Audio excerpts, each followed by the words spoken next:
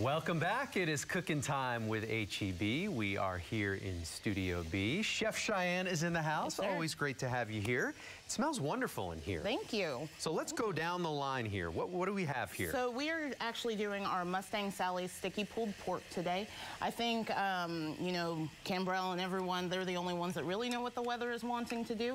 So this is something you can do inside. You can also do it outside. I'm featuring this in the Instant Pot today. So if you got that Instant Pot for Christmas, you haven't used Can it Can I put yet, some in here? Absolutely, please. So this does have our uh, Vela Farms Mustang Grape Jelly.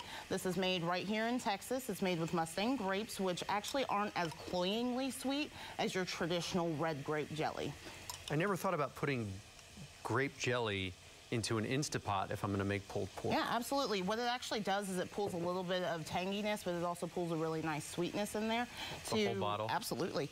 Um, so we're also putting in our smoky soppin sauce, um, only found at HEB with your cooking connection. This is going to add some spice, a little bit of that barbecuiness to it as well.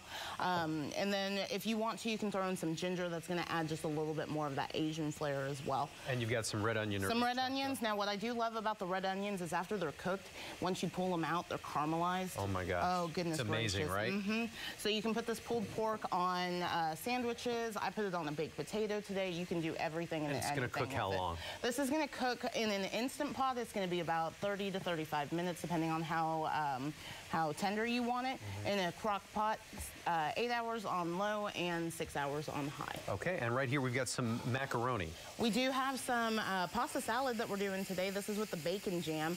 Um, so I know one of my favorite side dishes is actually uh, jalapeno ranch pasta salad.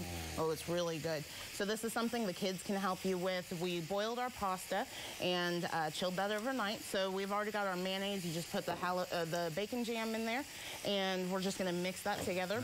Everything else just gets thrown into the bowl after that. Okay. So this is something awesome because you can make it ahead of time, and if you're busy, like I'm busy, I know you're busy, um, you can make this ahead of time and then leave it in the fridge, and you're ready to go. And it's nice because everything just kind of Yeah, everything together just in the fridge. Marries together, and you get a little bit of heat in there. If you want it spicier, you can use the jalapeno bacon jam as well.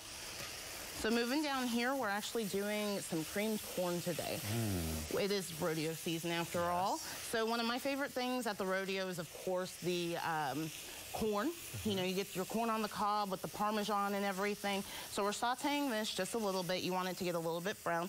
We have our uh, red bell peppers here. Add some nice dimensions with the color. Yeah, it adds. I always tell um, my family, my friends, eat your colors, eat the rainbow, and then you know your plate looks pretty, but also you're eating healthier as And well. real quick, because I know we're running out of time here, you wanted to talk about this. So this is our Ancho Morita sauce by Humble House. This company is actually based out of San Antonio. It's got a nice kind of smoky sweetness to it because it is a tamarind paste. So um, we're gonna add that. You can put it on the elotes and everything that you love. Chef Cheyenne, thank you so much. For a look at these recipes, just head on over to our website, click2houston.com. We'll be right back.